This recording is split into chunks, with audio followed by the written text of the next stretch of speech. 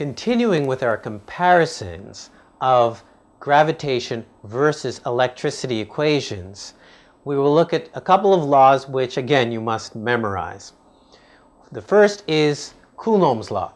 And in Coulomb's law, we have the force in an electric field is equal to K Q1 Q2 over R squared. K is Coulomb's constant. Q1, Q2 are the two point charges involved. R is the distance between the point charges. Be very careful on the exam. They will provide you with extra information that you do not require to solve a problem.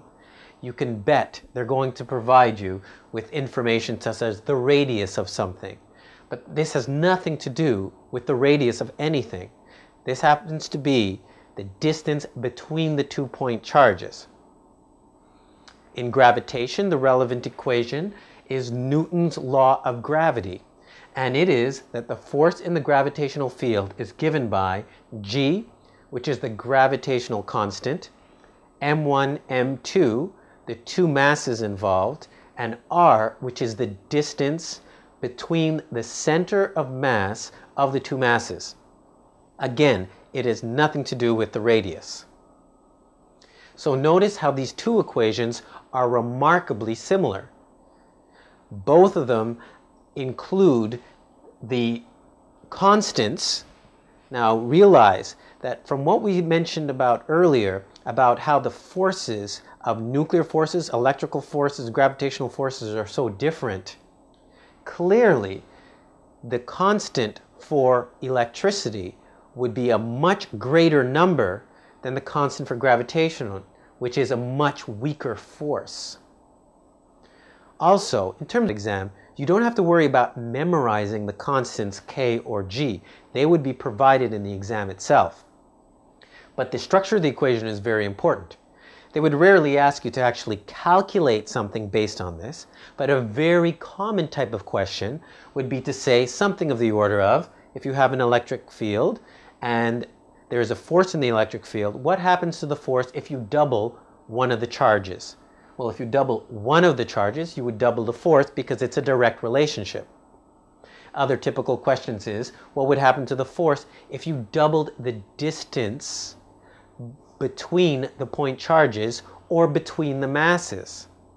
It would be the same thing. It's an inverse square relationship. If you double the distance, 2 times r, then the 2 is squared, it creates 4. So if you double the distance, then the force will be 1 quarter.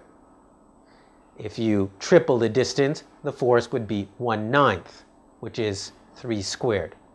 So those would be typical manipulations that they would ask at exam. Now, let's talk about work. We're going to talk about work in much more detail later in this series. But just in general, you could remember work as being force times distance. That's a very loose description of work, but it's comfortable for what we need to deal with now. And we'll talk about it more detail later. So work is force times distance. So let us look at what the work is done in an electric field. Well, let's look at an electric field. First, I will draw some electric field lines. Here are some electric field lines. The understanding is that electric field lines are always drawn away from a positive charge. That's the standard. So it's as if there was a positive charge higher up, and therefore these, this is being drawn away from the positive charge. Clearly, if you were to put a negative charge here, because the positive charge must be up there, if you put a negative charge here, then that negative charge would be attracted to the positive charge because opposites attract and it would move in that direction. But let's imagine that we put a positive charge here. So positive Q. Well, like charges would repel and this positive charge would be pushed away. But we want to push this charge towards the positive charge. We want to move it in this direction. If we move it in this direction, that will require work. that would require a force to push it in the opposite direction of the electric field. If we were to push this charge a distance delta y, then we can calculate the work done.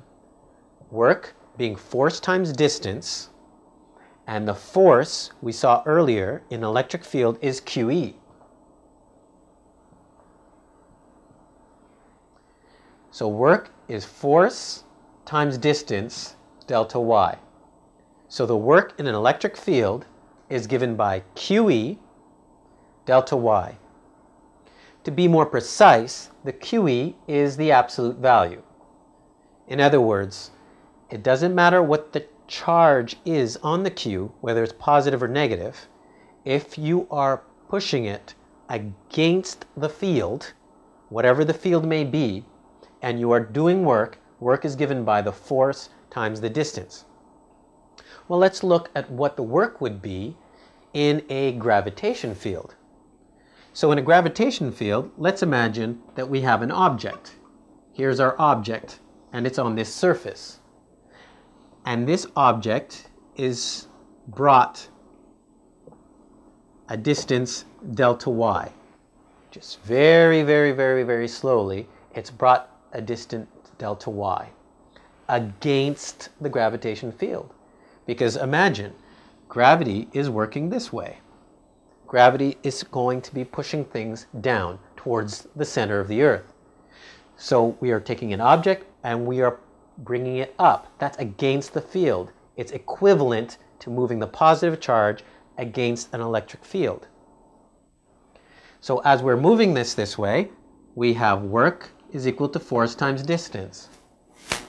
The force, we said earlier, equivalent to QE is mg. Of course, we'll be seeing a little later what we usually, the, the word we usually use for this is simply the weight of the object. So we have mg, and it's moving a distance delta y. So there we have work is force times distance. So now we've compared the equations for electricity and gravitation.